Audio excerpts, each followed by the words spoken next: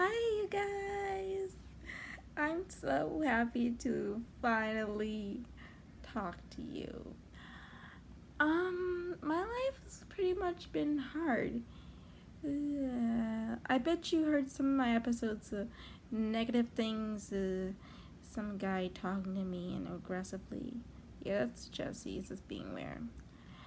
Anyway, forget that we're going to talk about cyberbullying. Cyberbullying is really popular days, and sometimes it can get out of hand and it can get really out of control. But the best way and the best motivation to give for most people is your heart, okay? Like, I'm Aquarius, okay?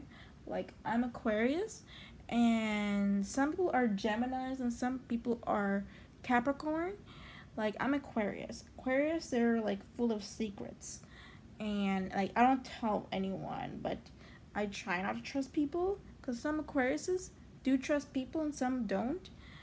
Like it's a matter of the balance between uh, of the comedy of destiny. If you guys are full of uh, Aquarius, Sagittarius, all that, please tell me what Gemini are you? Are you Capricorn? Are you Aquarius? Are you Sagittarius? Or are you the lion? Or the, no one heard this, the snake? I don't know, snake, Capricorn. Most people don't really know what that is. But please tell me what are you? Are you a good person? Are you a bad person? Are you a kind person or a genuine person?